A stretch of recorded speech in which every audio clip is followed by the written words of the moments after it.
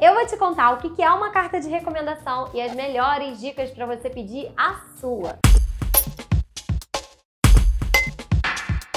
Fala galera, bem-vindos ao canal de carreira mais animado desse YouTube. Você tá no Futurana. Meu nome é Ana Letícia Magá e aqui você aprende tudo para mudar o seu futuro profissional. Quem chegou agora, já comenta aqui embaixo eu, que eu quero ver vocês aqui nos comentários. Aqui no canal tem vídeo falando sobre carta de apresentação. Eu vou colocar aqui em cima o link para vocês assistirem, mas esse vídeo aqui é especial especial para quem quer fazer uma carta de recomendação, que é outra história. Eu vou te contar o que é uma carta de recomendação e as melhores dicas para você pedir a sua. Quem aí não tá sofrendo na hora de conseguir um emprego, porque sempre precisa de recomendação. Se você tá passando por isso, a carta de recomendação pode ser uma ótima saída para te destacar no mercado. A carta de recomendação é um documento que formaliza a opinião de um profissional talentoso do mercado um ex-chefe que tenha uma boa reputação, ou até mesmo um professor também pode te recomendar para um primeiro emprego. A carta ela não substitui o currículo, mas pode ser um bom complemento. O nome carta de recomendação já diz bem o que, que ela significa, porque pelo nome já dá para entender que é uma carta de alguém que indica os seus serviços.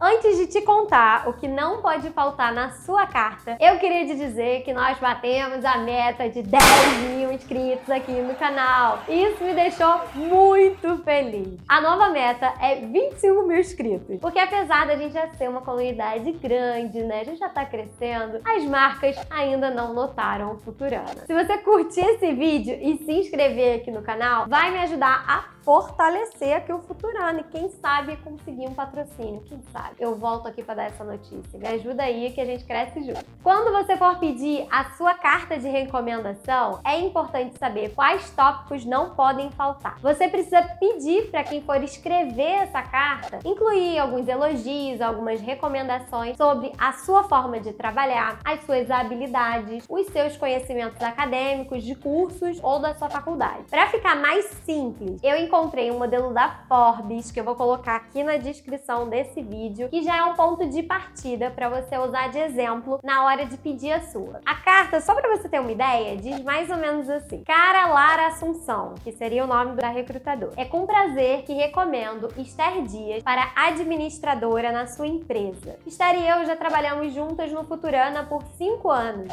Eu gostei do tempo que trabalhei com a Esther e descobri que ela é uma pessoa valiosa para qualquer equipe. Ela é honesta, segura e incrivelmente dedicada. Além disso, ela é uma impressionante líder criativa que sempre se dedica para alcançar os resultados. Seu conhecimento de administração e experiência em negócios foi uma grande vantagem para toda empresa. Ela colocou esse conjunto de habilidades em prol do desenvolvimento do negócio. Com seu talento inegável, sempre foi muito prazeroso trabalhar com a Esther. Ela sabe verdadeiramente trabalhar em equipe e sempre fomenta fomenta discussões positivas e traz o seu melhor. Sem dúvida alguma, eu recomendo Esther Dias para sua equipe.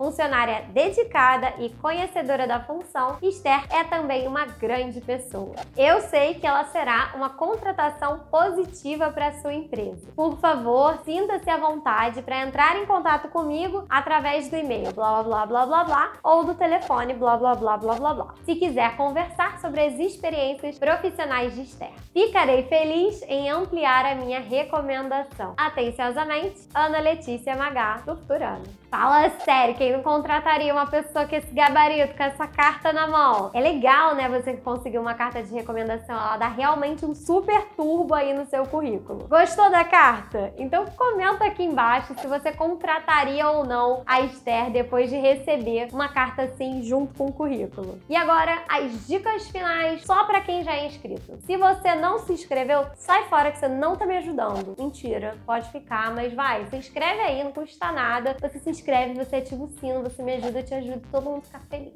Dicas finais, atenção. A carta, ela é um documento formal, então nada de gírias e nem erros de português.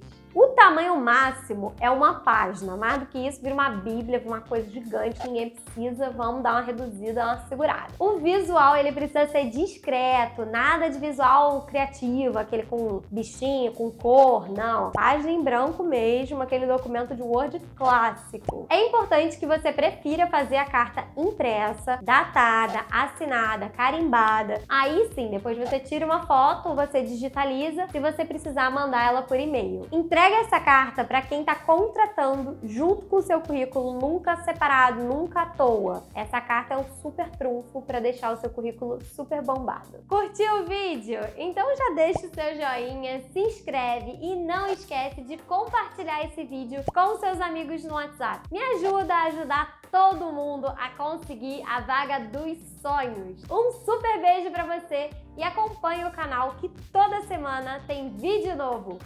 Beijo, beijo. Tchau, tchau.